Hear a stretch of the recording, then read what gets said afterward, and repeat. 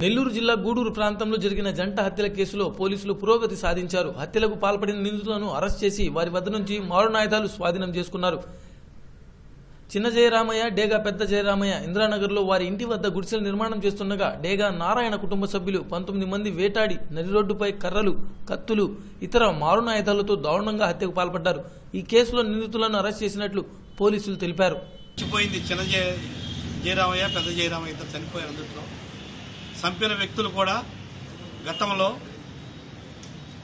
వేరే కేసులో కౌంటర్ కేసులో ముద్దాయిలు.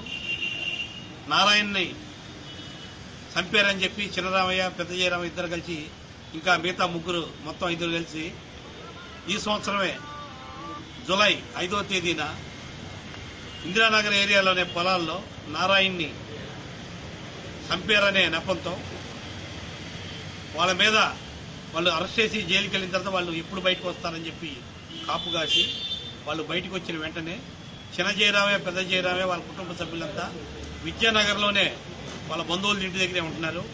మన టౌన్ సీఏ గారు సుబ్బారావు టూ టౌన్ ఎస్ఐ గారు వీళ్ళంతా కూడా వీళ్ళు ఇక్కడ రావద్దు. మీకు పగలు ప్రతీకారాలు ఉన్నాయి. మీరు విద్యానగర్లో ఉండండి అని చెప్పేసి ముద్దాయిలు బెయిల్ మీద రిలీజ్ అయిన వెంటనే వాళ్ళకి జాగ్రత్తలు చెప్పడం జరిగింది.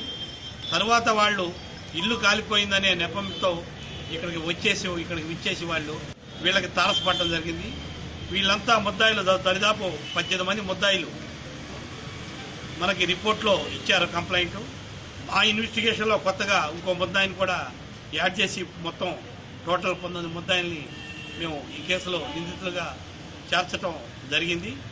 ఈ ముద్దాయిలంతా వాళ్ళిద్దరూ అన్నదమ్ములిద్దరు చిన్న జయరామయ్య పెద్ద జయరామయ్య చనిపోయిన మృతులు ఇద్దరు ఇల్లు కట్టుకుంటా ఇల్లు కట్టుకుంటా ఉన్నారు గుడిచి కట్టుకుంటా. దాన్ని చూసి వీళ్ళంతా పక్కా ప్రణాళిక ప్రకారం ఈ మా వెనకాల నిలబడి ఉన్న ఈ నిందితులంతా కూడా ఆడ మగ అంతా కూడా వీళ్ళు కూడా పక్క వీధిలోనే ఉంటారు. మీ అందరు కూడా విదితం అది. వీళ్ళంతా కూడా కర్రలో కత్తులు తీసుకొని వాళ్ళు పగడ్బందీగా పథకం ప్రకారం గతంలో నారాయణ చంపిన దానికి రిటాలియేషన్గా ప్రతీకార ధోరణిలో వీళ్ళు వెళ్ళి వాళ్ళ నడి రోడ్డు మీదే దారుణంగా కత్తులతో వేట కొడవలతో వెంటాడి నరికి కత్తులతో నరికి ఆ తర్వాత కర్రలతో కొట్టి చంపేసిన తర్వాత పరారి అయిపోవటం మీ అందరికీ కూడా తెలుసు. ఇందు అప్పటి నుంచి కూడా మా ఎస్ఐ నరేష్ మా సిఐ గారు సుబ్బారావు ఆ తర్వాత వారి సిబ్బంది కూడా గత ఈ వన్ వీక్ నుంచి కూడా వీళ్ళ కోసం గాలిస్తూ ఉన్నారు. ఈ గాలించే స- క్రమంలో వీళ్ళు ఈరోజు తెల్లవారుజామున ఐదు గంటల సమయంలో ఇందిరానగర్లో బయట చెరువులో ఉన్న అడవిలో ఉన్న వినాయకుడు గుడి దగ్గర వీళ్ళంతా కూర్చుని ఉంటే వీళ్ళంతా కూర్చొని మాట్లాడుకునే లారీ ద్వారా కోర్టులో సరెండర్ అవ్వాలని చూసే క్రమంలో వల పన్నుకొని ఈ సిబ్బంది అంతా వెళ్ళి అక్కడ వాళ్ళని పట్టుకోవడం జరిగింది. పట్టుకుని వాళ్ళని ఇంట్రాగేషన్ చేయటం జరిగింది పెద్ద మనుషుల సమక్షంలో. ఆ ఇంట్రాగేషన్లో వాళ్ళు ఒప్పుకున్నారు నేరాన్ని ఒప్పుకొని నారాయణ చంపిన దానికి ప్రతీకారంగా వీళ్ళిద్దరిని చంపామని చెప్పేసి వాళ్ళు ఒప్పుకోవడం జరిగింది. ఆ తర్వాత వాళ్ళు కనిపిస్తున్న స్టేట్ మేరకు కనిపిస్తున్న మేరకు ఆ కర్రలు కత్తులు ఎక్కడ పెట్టారని చెప్పి అడిగిన దాని మేట ఆ పక్కనే హై స్కూల్ కాంపౌండ్ దగ్గర పెట్టామంటే అక్కడ కూడా వెళ్ళి పెద్ద మన సమక్షంలో ఈ కర్రలు కత్తులు అన్ని సీజ్ చేశారు.